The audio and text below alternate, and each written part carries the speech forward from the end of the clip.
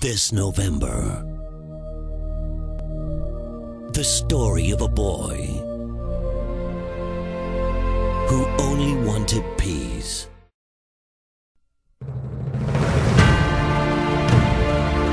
But they'll get a piece of this.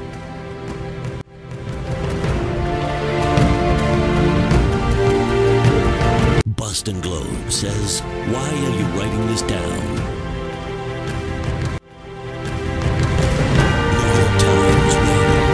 Mind-blowingly gay.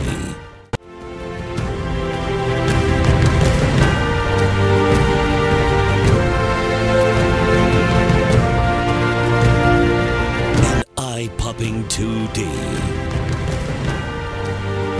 And now, if you think this video, say hello to